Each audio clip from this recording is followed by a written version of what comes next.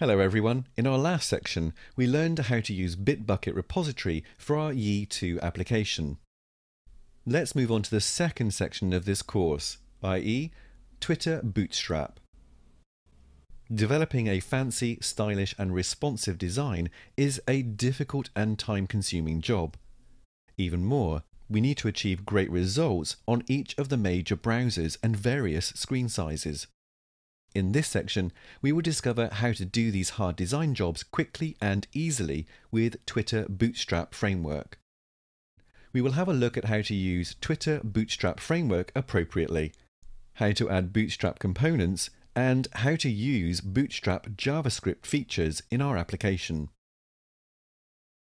Now, let's have a look at video 2.1, combining Highload with Twitter Bootstrap Framework. In this video, we will discover how to create responsive design using cross-browser Twitter Bootstrap framework. This will make the front page of our application look great in any screen and any browser. Note that though Yii2 application already have Twitter Bootstrap on board, auto-generated views doesn't have too many examples of proper Bootstrap usage, doesn't explain Bootstrap's grid system and doesn't use Bootstrap's JavaScript widgets. The purpose of this video is to fill this gap and discuss all this in detail. How to achieve that? First of all, we have a look at screen sizes predefined in Bootstrap. Then we'll discover what block styles are most suitable for our blocks. Finally, we combine things together and that's it let's have a look at the web page getbootstrap.com forward slash CSS. This is the most important page to understand what responsive design with Bootstrap is. In brief, Bootstrap uses 12 column grid to build responsive web page. You just need to specify appropriate block class to define how many columns the block should use and this block width may change depending on what screen displays the page. Note that to define block width, it uses the same column amount on all wider screens, until this amount will be changed for wider displays. You can read all details on your own. Now let's try it. Let's have a look at the home page. I have changed header titles and links below to make them clearer. Since all descriptions are always different, let's change their content a bit. I just copied the last sentence in the first description. Also, let's copy the last header and description. Since we need four blocks in the row, not three, change the header number, save our code and refresh the page. The fourth block moved to the new line, since there is no space for it on desired line. So we need to reduce the width of all four blocks.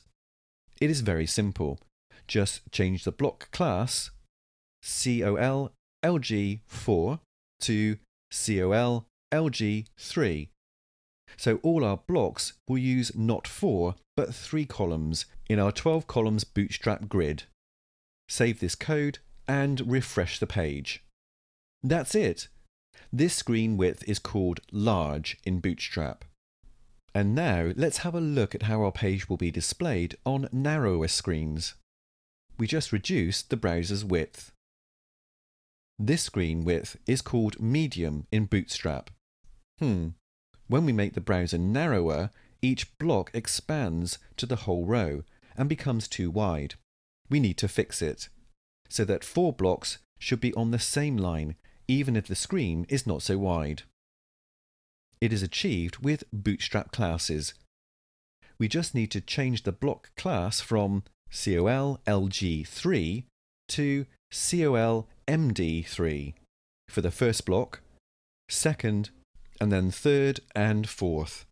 So, the blocks will use three columns in 12 column grid on medium screens, as well as on large screens. Save the code and update the page. Yes, that's much better. Let's reduce the width of our browser even more. Such screen width is called small in Bootstrap. As we see, In narrower screens, our blocks are still too wide. But we can't place four blocks on the same line, since they will be too narrow. Let's place two blocks on the same line. Since we need two blocks in one line, each block should use six columns in our 12 column bootstrap grid. And for small size screens, we need to add the class COL SM6 for each block. Note that we need to leave the COL MD3 class as it is, since we need four blocks on one row for medium screens, and for large screens, COL LG star class will be used. Save this code and update the page. It works. However, now we have a trouble with third and fourth blocks. Third block should be placed directly under the first block, but it is placed under second block. Why? The matter is, the first block has a bigger height, so the third block can't stick to the left side of the container, under the first block. How to solve this issue? It is easy with Bootstrap. You just need to add the block with ClearFix class after the second block. ClearFix is a special class, like LineBreak for the browser, and moves all the next elements to the beginning of the next line. Let's do that. Save it and update the page. Great, it helps. Now let's look at how our page will be displayed on smartphones. This is the Bootstrap Extra Small screen size. It looks great. Let's return to standard browser size. And now we have the next hurdle. ClearFix block still moves all blocks after it to new line. How to solve this now? Simple. We just need to use the Bootstrap hidden classes for medium screen, hidden MD, and for large screen, hidden LG. Let's do that. Save code and update the page. The job is done. Our page looks great on all screen sizes. It took a little time and effort, but we have finally achieved the goal for this video. Specifically, we have learned screen sizes, used in Bootstrap, we discovered how to use Bootstrap block classes correctly, and now we can develop responsive design quickly with Bootstrap. In the next video, we will learn how to add Bootstrap components to HighLoad.